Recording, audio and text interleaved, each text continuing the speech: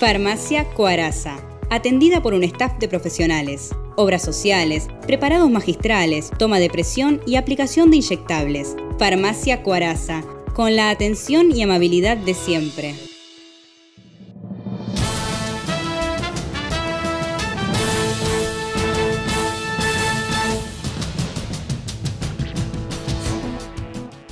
El Recreo Blondó cumplió 100 años.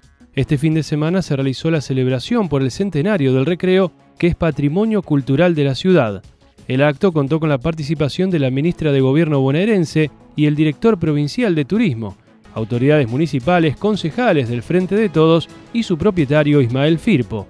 Además de los festejos, también se solicitó la finalización del camino que une el Canal Alem con la Ruta 12 para concretar el acceso vía terrestre. Junto con Soledad nos mantuvimos en, absoluto, en absoluta sintonía con la ministra de colaborar con todas estas gestiones ofrecerle también al municipio nuestra, nuestros contactos y nuestro esfuerzo también para que estos reclamos históricos lleguen a buen puerto.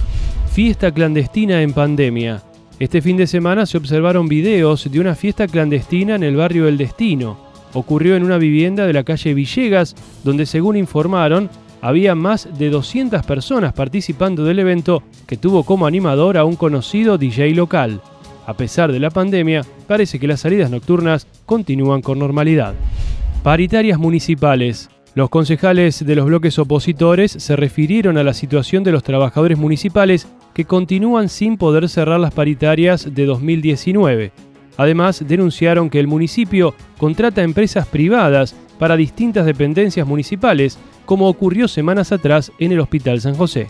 El municipio cuenta con dinero para poder emparejar y, acomodar un poquito los sueldos de los trabajadores municipales. Estamos entrando en noviembre y los municipales no recibieron ningún aumento en lo que va del año y quedaron muy por debajo del índice inflacionario del año anterior.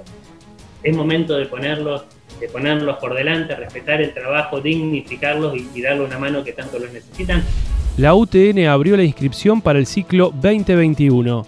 Desde este lunes los alumnos se pueden anotar a las tecnicaturas y también a las carreras de grado. La inscripción estará abierta hasta el 18 de diciembre.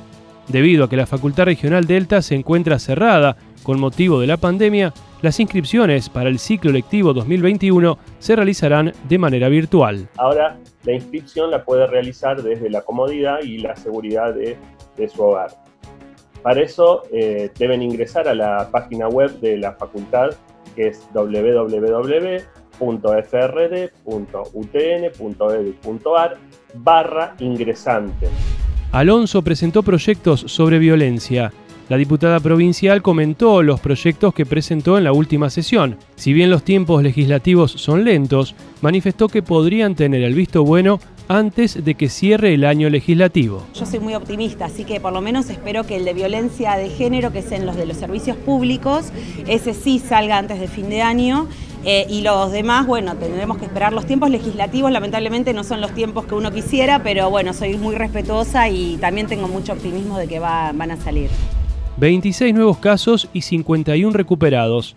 En el informe diario de la Secretaría de Salud se reportaron 26 nuevos casos de coronavirus. Hasta el momento hay 709 casos activos en nuestra ciudad.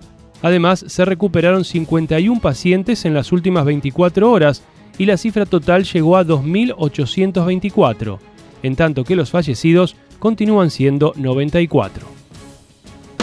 Econer, energías renovables, paneles y termosolares, soluciones para empresas, campos y hogares. No te quedes sin energía. Conoce nuestros kits solares. Visítanos en econer.com.ar.